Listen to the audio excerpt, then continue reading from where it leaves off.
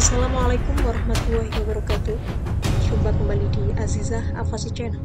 Jangan lupa untuk like, komen, subscribe, dan nyalakan lonceng notifikasinya agar tak ketinggalan video-video menarik lainnya. Hai kak, jumpa kembali di Azizah Afasi Channel.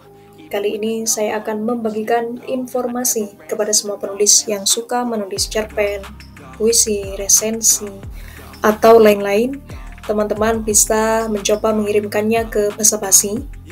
Nah, langsung saja kita akan jelajah virtual ke website bahasa basi kali ini. Bahasa basi.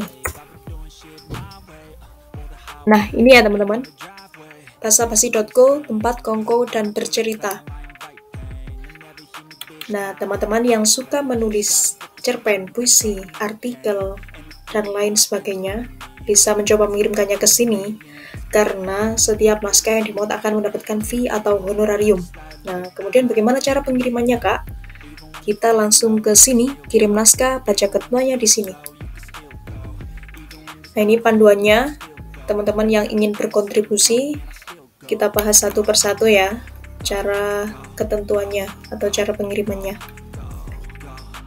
Nah, yang pertama, karya belum pernah dipublikasikan dalam bentuk apa pun, cetak atau digital. Jadi, jika teman-teman ingin berkontribusi atau mengirimkan naskahnya ke basa-basi, pastikan naskah kalian belum pernah dimuat di mana pun, ya. Naskah yang baru dan belum pernah dimuat di mana pun. Kemudian nomor 2, setiap naskah yang dimuat akan mendapatkan fee cerpen 300.000, puisi 250.000, esai 300.000, rehal buku atau resensi 100.000 dan hibernasi atau artikel ringan 100.000 rupiah. Nah, jadi saya pikir ini sudah sangat jelas sekali ya. Teman-teman sing teman-teman tinggal pilih silakan ingin mengirimkan yang mana. Cerpen, puisi, esai, resensi atau yang lain. Yang ketiga, bila dua bulan sejak pengiriman tidak dimuat atau tidak mendapatkan informasi akan dimuat, maka otomatis naskah tersebut dinyatakan tidak lolos seleksi. Jadi gitu ya teman-teman. Jika teman-teman sudah mengirimkan dalam dua bulan tidak ada kabar apa pun di email maupun di WhatsApp, teman-teman tidak mendapatkan kabar apa pun, teman-teman bisa menarik naskah yang sudah dikirimkan dan bisa mengirimkannya ke media lain. Misal, dikirim ke Jawa Pos, ke Radar Malang, Radar Banyuwangi, dan sebagainya. Jadi intinya dalam dua bulan itu, jika tidak ada kabar apa pun, intinya artinya naskah teman-teman dinyatakan tidak lolos seleksi dan tidak bisa dimuat di basa-basi di sini ya. Yang keempat, tema gaya bercerita, aliran eksplorasi dan panjang cerpen bebas ya. Jadi panjang cerpennya bebas. Diketik dalam 1,5 spasi, spasinya maksudnya 1,5, fontnya TNR, Times New Roman 12, formatnya dokumen. Nah, kemudian untuk marginnya, atas 4, bawah 3, kiri 4, kanan 3, dan dikirimkan format dokumen, bukan PDF ya teman-teman, ingat bukan PDF. Selanjutnya, puisi dikirim 5-10 puisi per, per pengiriman genre dan tema puisi bebas. Jadi per pengiriman teman-teman harus mengirimkan 5 sampai 10 puisi.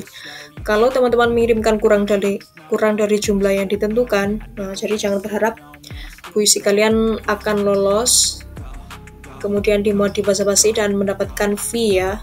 Nah, ini per pengiriman seperti itu ya. Sudah sangat jelas sekali. Kemudian yang kelima, esai ilmiah mendalam teoritik, analitik, reflektif dengan gaya bahasa dan penyajian ringan, tidak kaku seperti makalah atau skripsi, minimal 3 halaman, spasi 1,5. Nah ini ya, ini ketentuan untuk esai ilmiah tadi ya.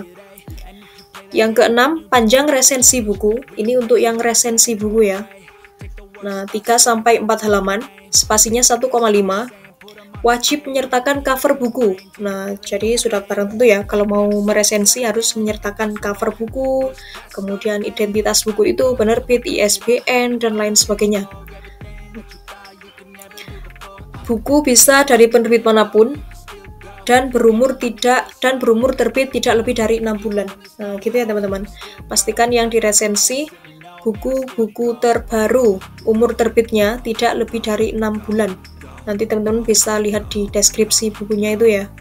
Di uh, di halaman pertama, di halaman baliknya itu biasanya ada keterangan atau deskripsi yang memuat informasi buku mulai dari penerbit mana, penulisnya siapa, jumlah halaman, ISBN, tanggal, tahun terbit, dan lain sebagainya itu biasanya dicantumkan jika ingin meresensi buku gitu ya. Selanjutnya, khusus untuk tulisan atas buku-buku terbitan Diva Press Group akan mendapatkan tambahan reward atau hadiah satu lembar buku Diva, gitu ya. Yang ketujuh, hibernasi berisi bahasan segala sesuatu yang kekinian, menjadi tren di media massa, hobi, film, musik, fashion, seni, dunia kreatif, pengalaman hidup, dan sebagainya. Disajikan dengan bahasa ringan, panjangnya 3-4 halaman. Spasinya sama ya, 1,5 semua ya. Baik cerpen, puisi, dan lain-lain harus menggunakan spasi 1,5 ini, spasi 1,5 juga. Kemudian yang ke-8, tulisan dikirim ke email gerobak naskah at dengan subjek sesuai dengan jenis naskah yang kalian kirim ya. Apakah puisi, cerpen, esai, rehal buku, atau hibernasi. Nah, jadi semisal seperti ini, kalian kirimkan emailnya ke tadi gerobak naskah.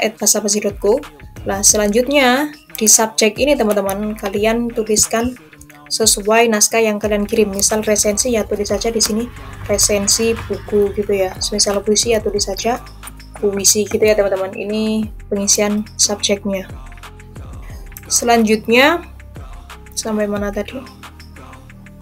Oh ini nomor 9. Penulis wajib menyertakan data seperti berikut: nama, nomor dan nama pemilik rekening. Nah, cantumkan pemilik nama cantumkan nomor rekening ya karena fee-nya biasanya langsung ditransfer gitu ya teman-teman.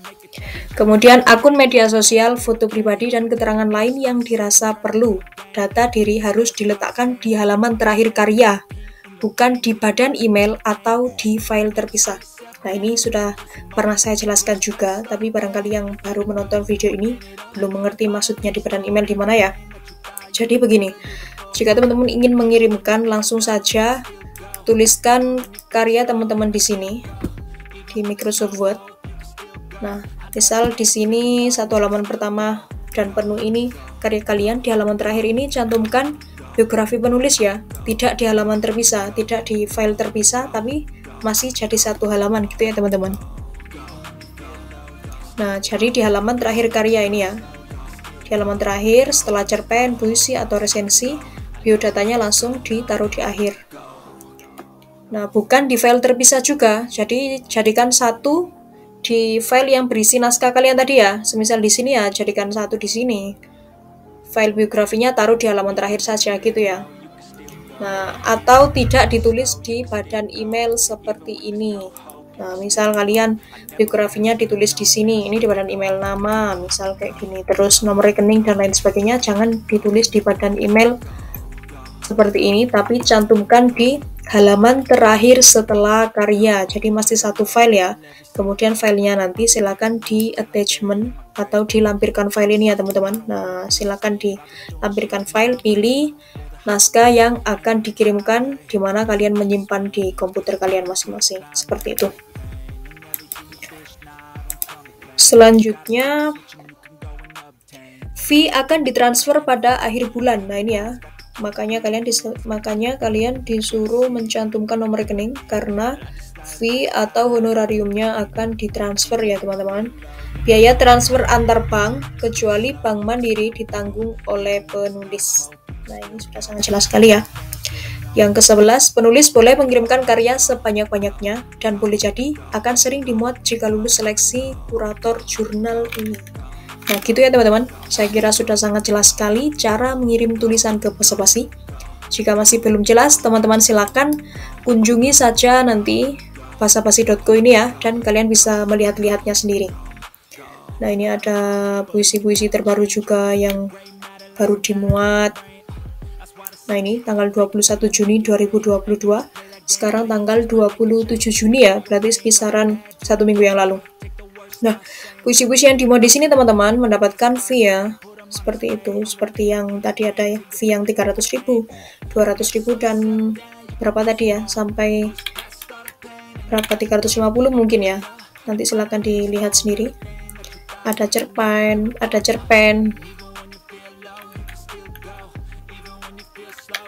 Nah, kayak gini ya teman-teman. Nanti silahkan kalian kunjungi sendiri. Barangkali hanya itu informasi yang dapat saya sampaikan. Terima kasih sudah menonton dan jangan lupa untuk subscribe, like, komen, dan share. Juga nyalakan lonceng notifikasinya agar tidak ketinggalan video-video seputar informasi lainnya. Wassalamualaikum warahmatullahi wabarakatuh.